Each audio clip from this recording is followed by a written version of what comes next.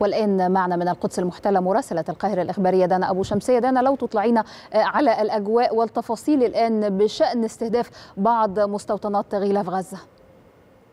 بعد التحية دعينا نقول أن المشاهد التي حصلت قبل ساعة وأكثر من الآن تعيدنا إلى السابع من أكتوبر وهذه الرشقات الصاروخية الكثيفة المتتالية. حتى وأن هذه الرشقات الصاروخية كانت الأعنف والأكثر كثافة وقوة حسب التعبير الإسرائيلي وخاصة هذه الرشقات الصاروخية التي استهدفت وسط البلاد ومركزها وعقر دار الحكومة الإسرائيلية تل أبيب.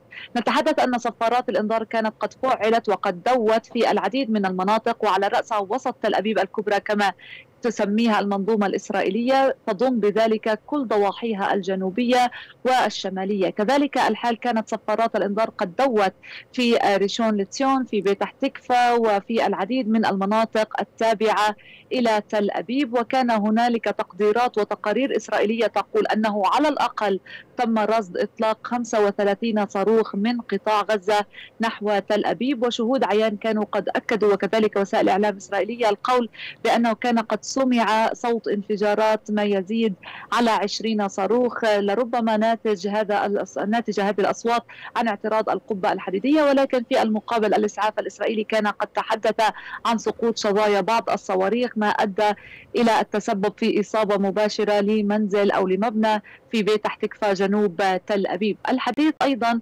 عن ما يحدث تزامنا مع هذه الرشقات الصاروخية في تل أبيب ويعني لجوء المستوطنين إلى الملاجئ كان هنالك صفارات الإنذار قد تزامنت أيضا مع أزدود وعسقلان ومستوطنات غلاف غزة يعني نتحدث أن هذه المرة تقريبا الخامسة التي دوت فيها صفارات الإنذار في مستوطنات غلاف غزة منذ صبيحة هذا اليوم وهذا الأمر لا يختلف وطأته ولا تقل وطأته فيما يحدث في الحدود الشمالية نعم. مع جنوب طيب دانا كيف يفسر هذا الأمر داخل إسرائيل خاصة مع الحديث عن سيطرة إسرائيل على بعض المناطق في شمال قطاع غزة؟ وكذلك الإعلان عن أنها دمرت البنى التحتية للفصائل ومنصات إطلاق الصواريخ. ما الذي تسوقه إسرائيل من مسببات؟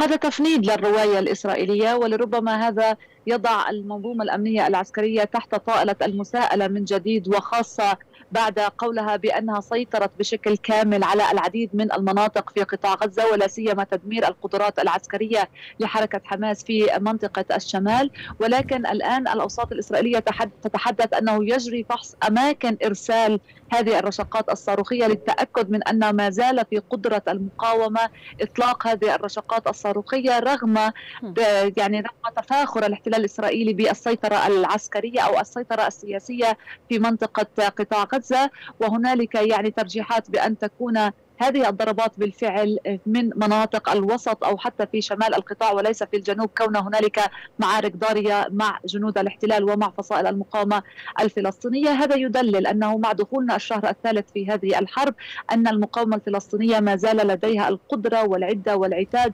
على إرسال هذه الرشقات الصاروخية إلى مناطق بعيدة المدى نسبيا. وكذلك الحال كان قبل قليل خبر عاجل من كتائب القسام تفيد بانه تم قنص جند جندي إسرائيلي كان على ظهر دبابة في المعارك في قطاع غزة. بريا وهذا يعني من المرجح أن يتم الإعلان عنه لاحقا من قبل الجيش الإسرائيلي في بياناته ما يزيد أعداد القتلى وأعداد الجرحى في صفوفه وخاصة أن بيانات جيش الاحتلال صبيحة هذا اليوم كانت قد أعلنت عن مقتل ثلاثة إحدى أو أحد هذا القتلى كان ضابط ونتحدث أيضا عن ثماني إصابات في المعارك الضارية والحديث الآن عن إصابة خمسة من الإسرائيليين في الحدود الشمالية وذلك بسبب الاستهداف المتواصل من قبل حزب الله للمنطقة الحدودية في شمال الأراضي الفلسطينية المحتلة. شكرا دانا أبو شمسية مراسلتنا من القدس المحتلة على كل هذه المعلومات.